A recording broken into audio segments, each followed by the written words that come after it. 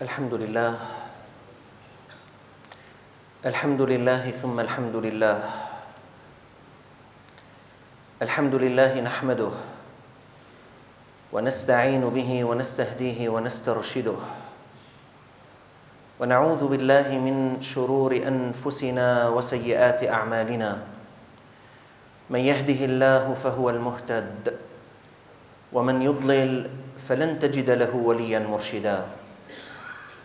وأشهد أن لا إله إلا الله وحده لا شريك له وأشهد أن سيدنا محمدا عبده ورسوله وصفيه وخليله خير نبي اجتباه وهدى ورحمة للعالمين أرسله.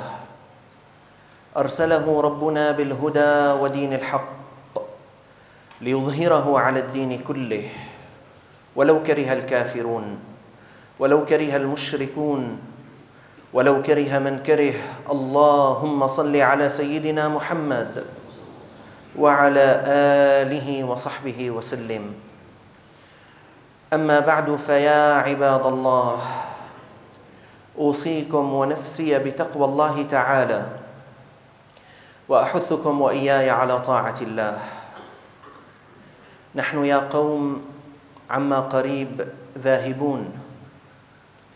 ذاهبون إلى دار لا عمل فيها. من اتقى الله في هذه الدار سعد في تلك الدار. ومن أصر على معصية الله في هذه الدار فحاله غير حال السعادة في تلك الدار.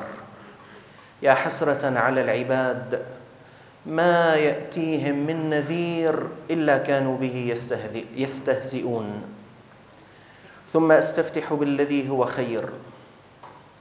يقول الله تبارك وتعالى في محكم التنزيل قد جاءكم بصائر من ربكم فمن أبصر فلنفسه ومن عمي فعليها وما أنا عليكم بحفيظ.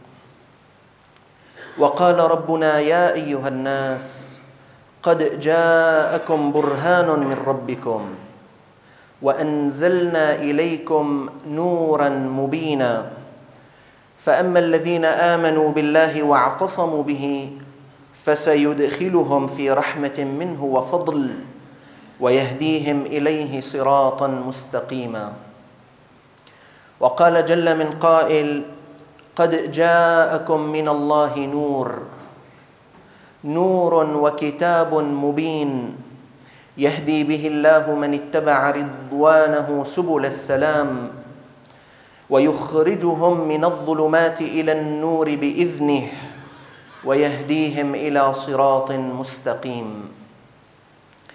قال ابن كثير في تفسير هذه الآية أخبر تعالى عن القرآن العظيم الذي أنزله على نبيه الكريم أنه يهدي من اتبعه سبل السلام أي طريق النجاة والسلامة ومناهج الاستقامة وينجيهم من المهالك ويوضح لهم أبين المسالك فيصرف عنهم المحذور ويحصل لهم أنجب الأمور وينفي عنهم الضلالة.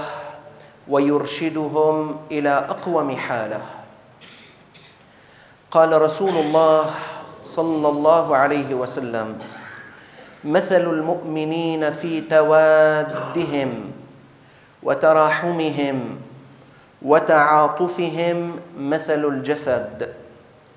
إذا اشتكى منه عضو تداعى له سائر الجسد بالسهر والحمى. وفي رواية المسلمون كرجل واحد. إن اشتكى عينه اشتكى كله وإن اشتكى رأسه اشتكى كله. عنوان خطبة اليوم أخلاقيات الأزمات في جزئها الثاني.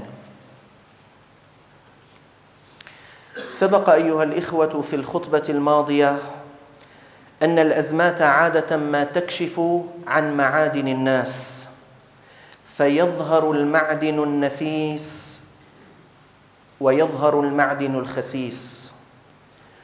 ولئن كنا دائما مدعوين للتحلي بمكارم الأخلاق والتخلي عن مساويها فنحن في الأزمات أشد حاجة إلى هذا التحلي والتخلي.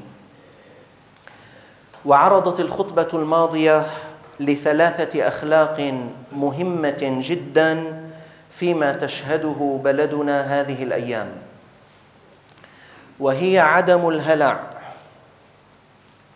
والأمانة والتراحم. وتعرض خطبة اليوم لثلاثة أخر وهي التكافل والتثبت والأمل.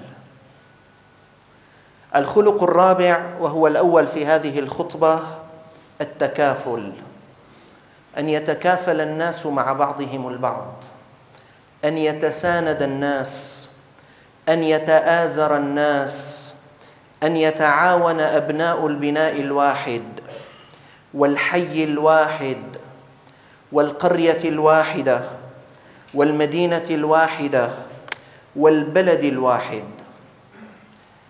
يعين الغني الفقير ويساعد القوي الضعيف ويتكافل الجار مع جاره ويتساند الصديق مع صديقه ويتعاون الأخ مع أخيه. والتكافل الاجتماعي مطلوب أيها الإخوة في كل الأوقات في الإسلام لكنه في الأزمات تظهر حاجته أكثر. من كان معه فضل ظهر فليعد به على من لا ظهر له. ومن كان معه فضل زاد فليعد به على من لا زاد له. قال الراوي وذكر رسول الله صلى الله عليه وسلم من أصناف المال ما ذكر حتى ظننا أو رأينا أنه لا حق لأحد منا في فضل. قال الله تعالى واعبدوا الله ولا تشركوا به شيئا وبالوالدين إحسانا. أول خيرك رده لوالديك وبذي القربى ثم لأقاربك واليتامى ثم لليتامى والمساكين والجار ذي القربى. يعني الجار الذي يسكن أمامك وهو قريب لك. والجار الجنب يعني الجار الذي يسكن أمامك ولا قرابة بينك وبينه. والصاحب بالجنب يعني الزوجة. وابن السبيل وما ملكت أيمانكم إن الله لا يحب من كان مختالا فخورا. الذين يبخلون ويأمرون الناس بالبخل ويكتمون ما آتاهم الله من فضله وأعتدنا للكافرين عذابا مهينا. فمن التكافل في هذه الأيام أيها الإخوة الا يصرف صاحب عمل عماله لأنه لا يجد حركة في أسواقه.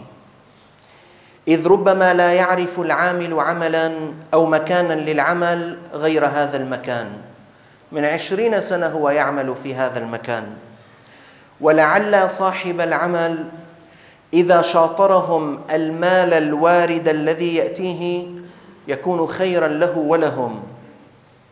ولعله إذا تصدق من صدقاته على عماله في هذه الأيام يكون خيرا له ولهم. يدير تاجر ورشة للمفروشات في إحدى ضواحي المدينة.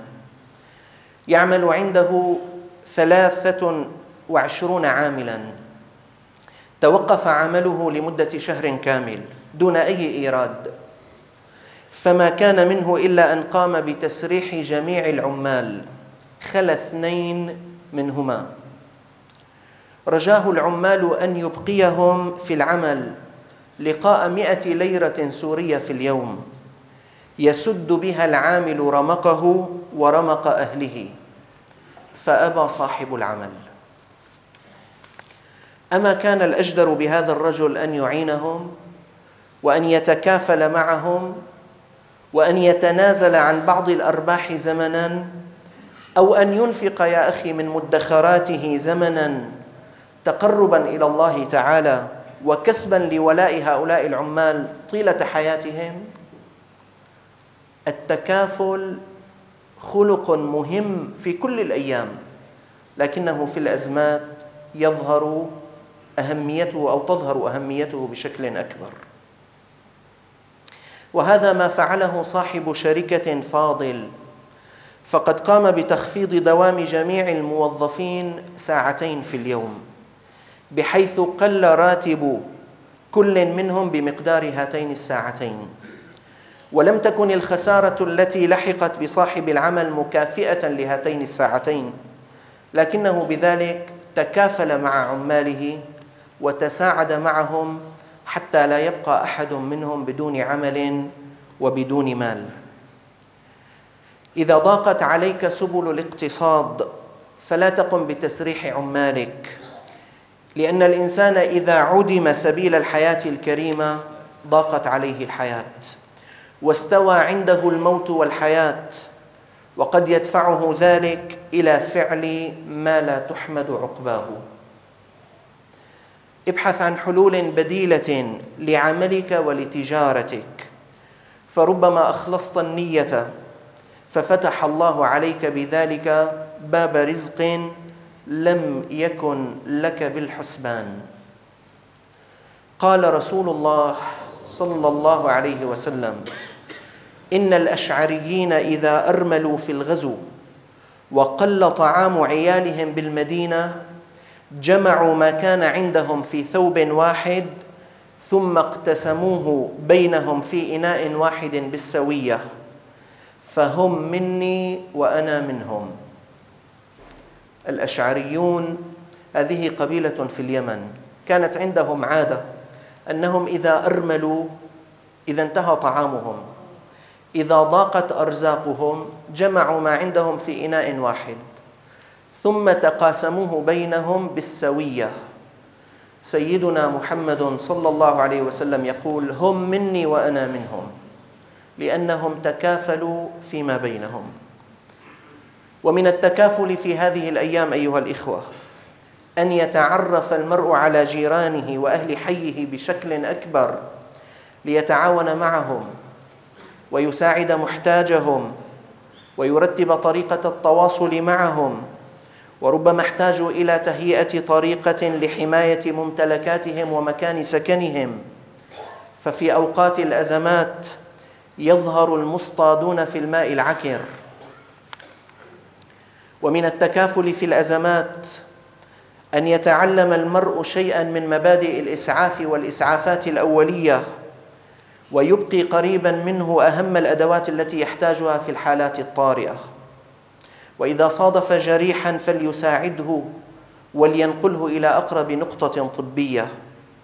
ولعله بمساعدته نفسا قد أوشكت على مفارقة الحياة أن يحييها فيكتب له كأنه أحيا الناس جميعا.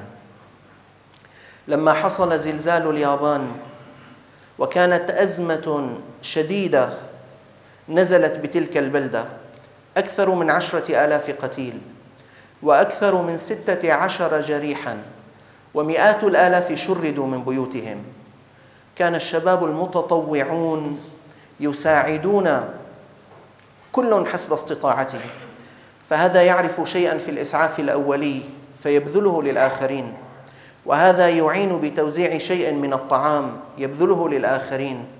وهذا يساعد من ينتشل اناسا من تحت الركام فيساعد الناس بعضهم بعضا حتى لفتت هذه الأخلاقيات أنظار العالم إلى تعلم هؤلاء القوم أخلاقيات الأزمات. قال الله تعالى من أجل ذلك كتبنا على بني إسرائيل أنه من قتل نفسا بغير نفس أو فساد في الأرض فكأنما قتل الناس جميعا ومن أحياها فكأنما أحيا الناس جميعا. قال مجاهد في تفسير من أحياها فكأنما أحيا الناس جميعا. قال من أحياها أي من أنجاها من غرق أو حريق أو هلك وقال ابن مسعود من أحياها أي من استنقذ هذه النفس من هلكة. ومن أخلاقيات الأزمات أيها الإخوة ومن التكافل في الأزمات أن يبتعد المرء عن مظاهر الفرح والابتهاج مراعاة لحال أناس من المواطنين فقدوا إخوانهم أو فوجعوا بآبائهم أو أولادهم أو بني قومهم. إذ التكافل المعنوي مهم جدا في الأزمات. فيتعامل المرء مع ما يصيب الناس كأنه يصيبه هو. هذا يشعر الناس بالتعاضد بين أبناء البلد الواحد بين أبناء القطر الواحد يشعرهم بالتعاضد والتكاتف والمؤازرة. كان المعري ينشد فيقول فلا هطلت علي ولا بأرضي سحائب ليس تنتظم البلاد. إذا ما نزلت الأمطار في كل البلد أنا لا أريد أن تنزل عندي. لا أريد أن أنعم أنا ويساء إلى الآخرين ويساء إلى الآخرين. أن أسر أنا وأن يزعج الآخرين أو يزعج الآخرون. فلا هطلت علي ولا بارضي سحائب ليس تنتظم البلاد. الخلق الرابع أيها الإخوة من خلق الأزمات التكافل. الخلق الخامس وهو الثاني اليوم التثبت.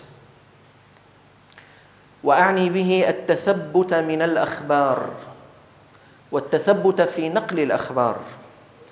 فكم من خبر ألقى الرعب في قلوب الناس وألقى الجزع والهلع في أفئدتهم. وكم من خبر ألقى الراحة والسكينة في قلوبهم. وإن الإشاعات موجودة دائما لكنها تكثر في أيام الأزمات. فالعاقل اللبيب الأديب هو الذي يتثبت من الخبر الذي يسمعه من أي جهة سمعه. ولا ينقل من الأخبار إلا ما صح وحسن نقله. هناك أخبار لا تصح لا يجوز نقلها. هناك أخبار تصح لكن نقلها يسيء. لا يجوز نقلها. إذا أردت أن تنقل خبرا فلا بد من أمرين أن يكون الخبر صحيحا. تأكدت أنت من صحته والأمر الثاني أن يكون مفيدا نقله. أما إذا كان ضارا نقله أو كان الخبر ليس صحيحا فلا تنقله. يا أيها الذين آمنوا إن جاءكم فاسق بنبأ فتبينوا أن تصيبوا قوما بجهالة فتصبحوا على ما فعلتم نادمين. وفي قراءة إن جاءكم فاسق بنبأ فتثبتوا تثبت من الخبر قبل نقله. قال رسول الله صلى الله عليه وسلم كفى بالمرء إثما أن يحدث بكل ما سمع. قال المناوي في شرح هذا الحديث أي إذا لم يتثبت فقد وقع في الإثم. لأنه يسمع عادة الصدق والكذب. فإذا حدث بكل ما سمع فلا بد أنه سيحدث شيئا من الكذب. وقال النبي صلى الله عليه وسلم بئس مطية, مطية الرجل زعموا يعني يقول لك هيك عم بيقولوا. هكذا يقال هكذا سمعنا. بئس مطية الرجل زعموا الناس هكذا يقولون. قال في عون المعبود عندما شرح الحديث المقصود أن الإخبار بخبر مبناه على الشك أو التخمين دون الجزم واليقين قبيح. وفي المثل زعموا مطية الكذب. زعموا مطية الكذب. الخلق الخامس التثبت. أما الخلق السادس وهو الأخير في هذه الخطبة الأمل وأعني به الثقة بالله تعالى. ثقوا بالله يا أيها الإخوة أن الله لا يقضي لعباده المؤمنين إلا خيرا. أبشروا وأملوا من الخير ما شئتم لأن بعد كل محنة بعد كل منحة بعد كل محنة منحة وبعد كل بلية عطية. وبعد كل شدة شدة وبعد كل ضيق فرج وإن مع العسر يسرا. والشدة أيها الإخوة إذا تتابعت انفرجت وإذا توالت تولت. وإن الله مع المحسنين وسيجعل الله بعد عسر يسرا. ولرب نازلة يضيق بها الفتى. ذرعا وعند الله منها المخرج. ضاقت فلما استحكمت حلقاتها فرجت وكان يظنها لا تفرج. اللهم فرج عن المسلمين. قال رسول الله صلى الله عليه وسلم عند تناهي الشدة يكون الفرج. إذا تأزمت الأمور وزاد الخناق هناك يكون الفرج. أرأيتم إلى الليل إذا اشتدت حلكته؟ هناك يظهر ضوء النهار وضوء الفجر. فيا أيها الإخوة أبشروا بالخير وأملوا ما يسركم فوالله لا يسوق الله تعالى لعبده المؤمن إلا الخير. واعلموا أن الله إذا أحب عبدا ابتلاه وأيقنوا أن العاقبة للتقوى. وأن العاقبة للمتقين. يا أيها الإخوة هذه أخلاق ثلاثة في أخلاقيات الأزمات وسبقت ثلاثة في الخطبة الماضية عدم الهلع والأمانة والتراحم ثم التكافل ثم التكافل والتثبت والأمل. أقول قولي هذا واستغفر الله العظيم لي ولكم فيفوز المستغفرون.